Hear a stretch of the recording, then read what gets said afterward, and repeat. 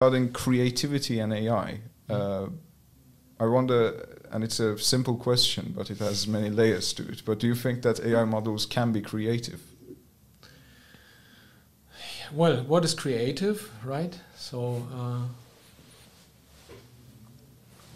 I mean, creativity is uh, essentially something that has been assigned. Uh, I mean, it's it's a it's a human um, characteristic, right?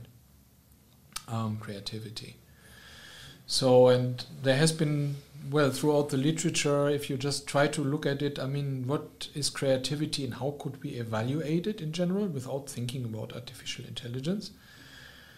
I mean, there's there has been also so many discussions about what should we look at. Should we look at like the the outcome of something and say is this creative, or should we look at uh, the process, how something is being done, if this is some kind of creative process, or also, I mean, is the person who has done it a creative person or not, or uh, even like. Um, independent from these also like the the perspective from the outside. I mean is does this society regard something as creative or not right? So that whatever it is it can be considered creative in the essence also. I mean that's that's also a position. So in, in that way yes um, artificial intelligence could be creative if society decides that uh, yeah this or that is that is creative for some reason, then yeah,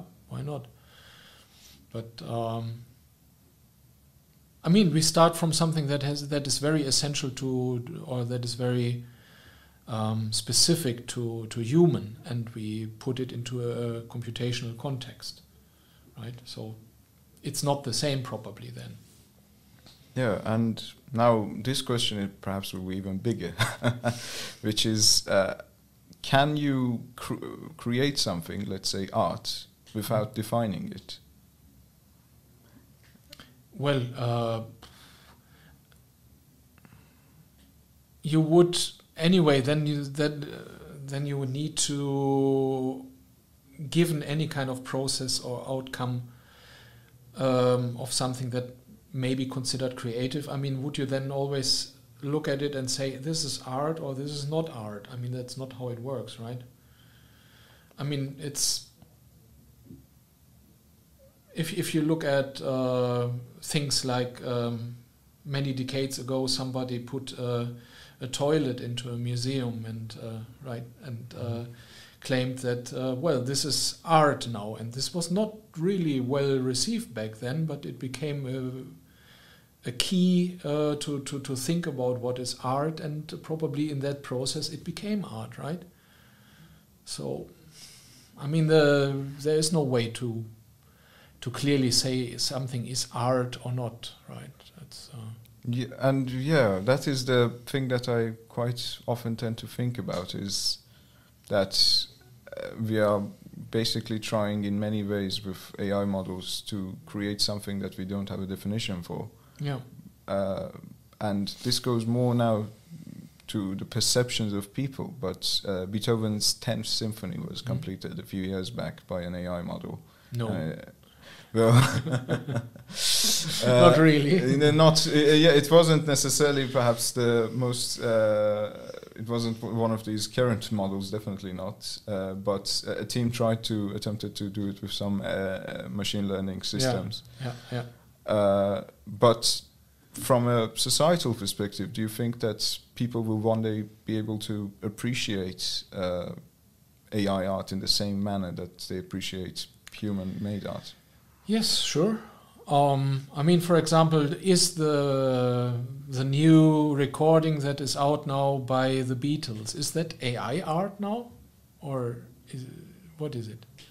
Yeah, man, uh, that is, uh, I would say, cyborg maybe art, and it's uh, Yeah. half uh, human, half uh, artist. Uh, but uh, I've tested it with a few people to, uh, from time to time, show them pictures or even compositions, uh, short compositions by AI. Uh, and so long as they don't know that it is an AI that has created it, they have a much greater appreciation for it. Yeah, yeah, that's a well-known thing to happen. Yeah. Hmm? Do you think that society throughout the, and this is just a general question, but from your own uh, position, do you think that our perceptions towards art might be changing through the coming years? From well, I, I, if I if I would have brought my time machine with me, I could put you in there and uh, put you back to the to the onset of the disco movement, and I would ask you, what do you think? Would pe will people at some point uh, be on a wide wide basis in popular music accepting be accepting these kind of drum machines, right?